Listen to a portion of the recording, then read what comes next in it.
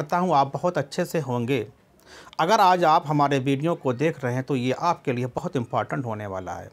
क्योंकि आज से हमारा जो वीडियो आएगा जोग्राफ़ी स्टडी यूट्यूब चैनल पर जोग्राफ़ी वैकल्पिक विषय के रूप में आएगा। आप जानते हैं कि यूपीएससी हो या यूपी पीसीएस हो, यदि आप किसी सब्जेक्ट को ऑप्शनल के रूप में चुनते हैं, यदि आपने जोग्राफ़ी को ऑप्शनल के रूप में चुना है तो आपके लिए ये प्लेटफॉर्म बहुत उम्दा होगा। आप हमारे साथ बने रहिए। हम आपको जोग्राफ़ी मेंस के सब्जेक्ट आपके यहाँ पे देंगे टॉपिक देंगे, और जो आपके लिए आपको समझने में बहुत आसानी होगी। आप जानते हैं कि जब आप मेंस में जाते हैं तो मेंस में जो आपका ऑप्शनल सब्जेक्ट होता है, उसके दो पेपर होते हैं। एक फ़र्स्ट पेपर होता है, एक सेकंड पेपर होता है। दोनों पेपर 250 250 के मार्क्स से होते हैं। जो जोग्राफ़ी का फ़र्स्ट पेपर होता है, उसमें physical geography and human geography होती है। और जो सेकंड पेपर होता है, उसमें इंडियन जोग्राफ़ी के होती है। तो आज का हमारा टॉपिक है, हम शुरू कर रहे हैं सेकंड पेपर के टॉपिक से। पहला टॉपिक हमारा क्या है कि भारत का नामांकन या नॉमिनेशन ऑफ़ भारत। अब ये कह सकते हैं कि भारत का कि अलग अलग लोगों ने भारत के नाम को अलग अलग इस छः हमारे तो जो हमारा भौगोलिक क्षेत्र इसको अलग अलग नामों से पुकारा।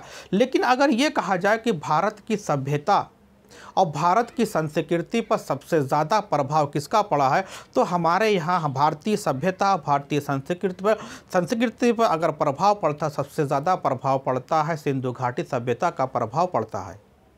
इसीलिए लोग, इसीलिए बहुत सारे विद्वानों ने कहा है कि भारत की सभ्यता, भारत की संस्कृति की जननी कौन है? सिंधु नदी घाटी सभ्यता।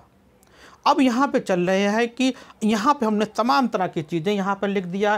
पहली हेडिंग हमने क्या लिखा? सिंधु घाटी सभ्यता। तो सबसे पहले बात कर रहे हैं सिंधु घाटी सभ्यता की खोज किसने की थी? तो राय बहादुर दयाराम साहनी ने सिंधु घाटी सभ्यता की खोज की थी। अब बात यहाँ पर हमने एक चीज़ का ज़िक्र नहीं किया, लेकिन हम उसको बात ज़िक्र कर रहे हैं कि आर्यों के बारे में बात कर रहे हैं। तो आर्य की बात आती कि आप जानते हैं कि आर भारत में कैसे आए थे, किस दिशा में आए थे? तो ये हमारे हमारा क्या है कि अगर हम भारत का अपने देश का मैप बना दें तो ये आपका उत्तर हो गया। इस तरीके से हमारा क्या है कि ये हमारा ये मैप हो गया, जो आपका कि उत्तर पश्चिम से क्या हुआ था कि ये क्या कहते कि मध्य एशिया से क्या हुआ था कि भारत की आर आए थे। क्या आए थे? आर भारत आए थे। और इन्होंने के कि नदी घाटियों में ही रहना सबसे पहले यहाँ पे शुरू किया था।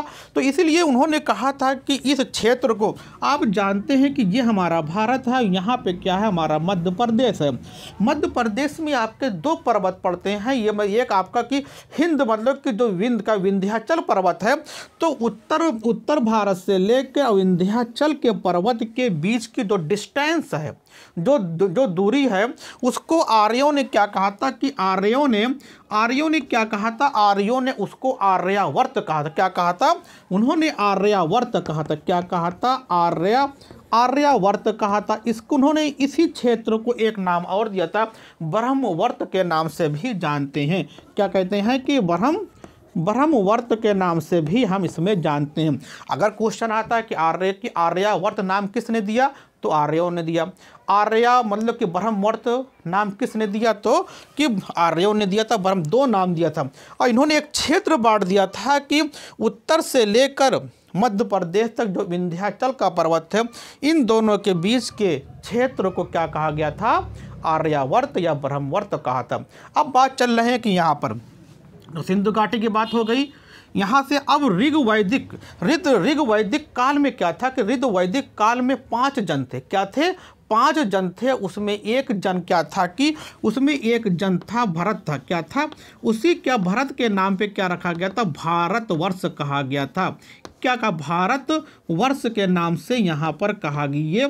तो आकी वैदिक वैदिक में क्या ऋग वैदिक के अकॉर्डिंग हमारे देश का नाम क्या पड़ता है? भारत वर्ष कहा गया।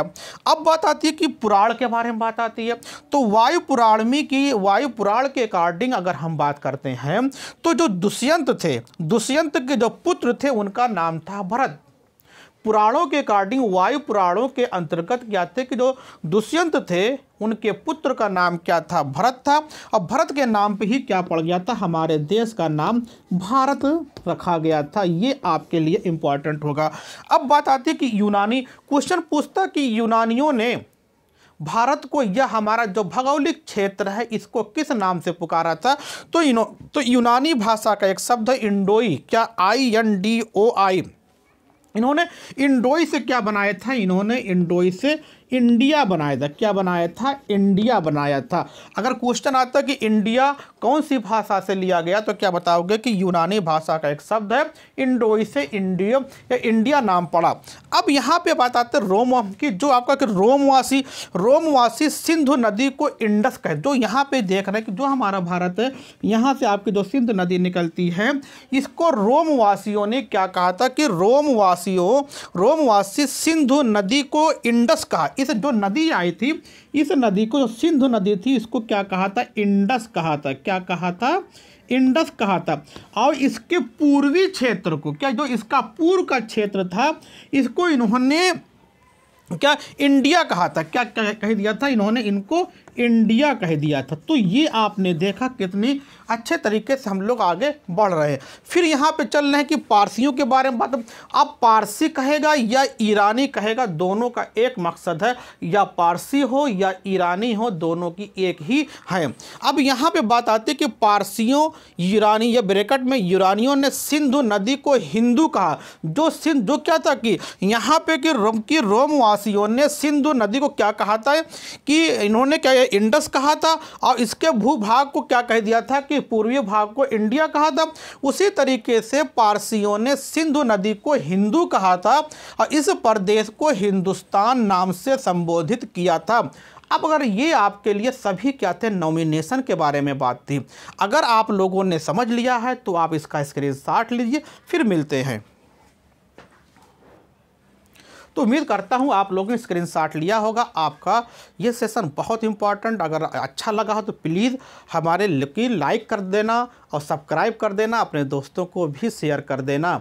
ये अगर आपको कहीं पर कोई कमी लग रही है कि हमको और आगे अच्छे तरीके से इसमें हम और कोई अच्छा कर सकते हैं तो कमेंट बॉक्स में ज़रूर उसको की नोट के डी डिनोट करिए। Okay, thanks. फिर मिलते हैं एक नए टॉपिक के साथ ऑप्शनल जोग्राफी के साथ। आपको कहीं जाने की ज़रूरत नहीं पड़ेगी। Okay, thanks. Good night.